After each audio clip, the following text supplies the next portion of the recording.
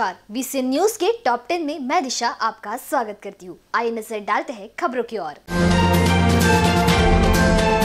शनिवार को देश में हुए लगभग 18 लाख कोरोना जाँच, अब तक लगभग 29 लाख टेस्ट हुए। आईसीएमआर ने दी जानकारी। देश में कोरोना के एक्टिव केस घटकर सात लाख उनतीस हज़ार हुए। रिकवरी रेट बढ़कर छियानवे दशमलव सत्ताईस प्रतिशत आरोप पहुँचा।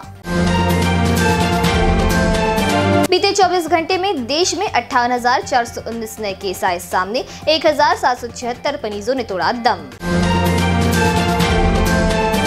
भारत समेत कई देशों की यात्रियों के लिए दुबई ने की ढिलाई। वैक्सीन की दो डोज लेने वालों को मिली राहत।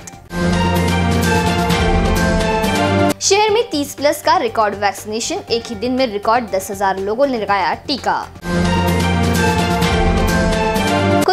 ज़िम्मेदारी और सुरक्षा के साथ जोखिम में डालकर करनी पड़ रही है यात्रा। प्राइवेट बसों में नहीं हो रहा नियमों का पालन। नरेंद्र नगर पुल पर रोड दुर्घटना का खतरा, जानलेवा गड्ढों से भरी सड़क।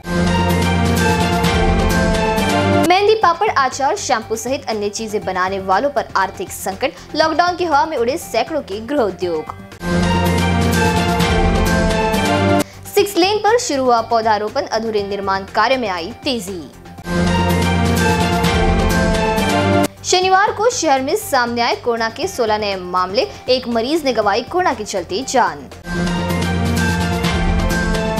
बीसीएन न्यूज़ के टॉप टेन में फ़िलहाल इतना ही। ऐसे अन्य और खबरों से जुड़े रहने के लिए देखते रहिए बीसीएन न्यूज़ नमस्कार।